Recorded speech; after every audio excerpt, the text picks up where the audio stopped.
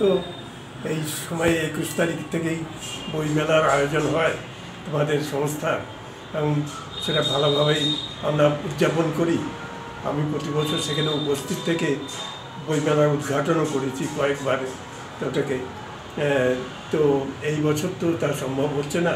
তোমরা সবাই জানো, তোমরা ঘরে থেকেও ভালো থেকেও যে তোমরা অনলাইন কিছু কিছু চেষ্টা করছ, করতে। এটা আমি খুব খুশি।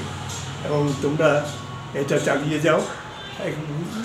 এইরকম দুর্যোগ সবসময়ই এসে থাকে এবং তাকে মুখোমুখি হওয়ার ক্ষমতাও রাখবে তোমরা।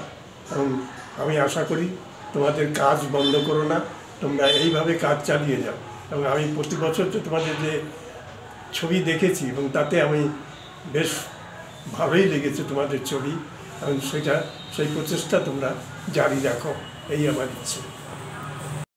নমস্কার। রহড়া নিবেদিতা আর্ট সেন্টারের উদ্যোগে এবার অতিমারির সময় একটা অনলাইন মানে আন্তর্জালিক একটা প্রদর্শনীর ব্যবস্থা করা হয়েছে।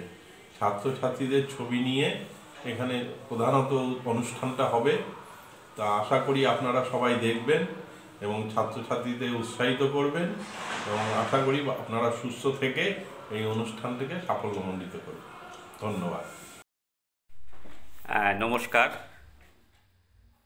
নিবেদিতা আর্ট সেন্টারের ব্যবস্থাপনায় প্রতি বছরের মতো এবারেও বার্ষিক চিত্র প্রদর্শনীর আয়োজন করা হয়েছে। ওই একই দিনে, অর্থাৎ একুশ থেকে সাতাশে ডিসেম্বর।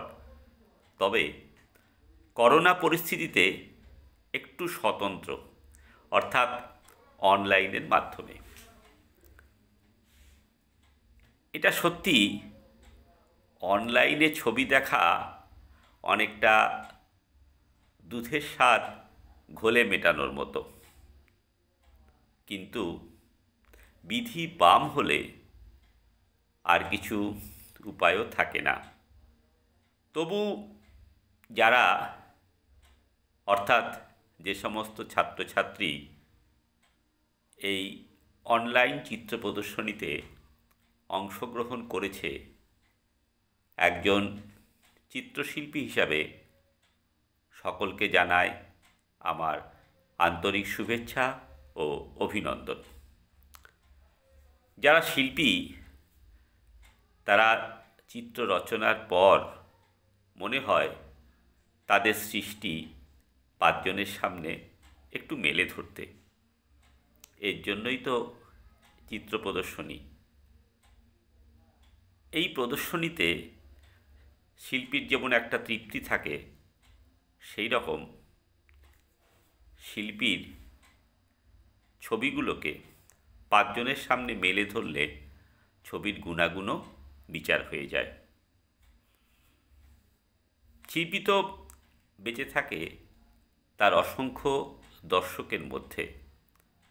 আমি নিবেদিতা আর্ট সেন্টারের এই ভার্চুয়াল চিত্র প্রদর্শনীর সাফল্য কামনা করছি।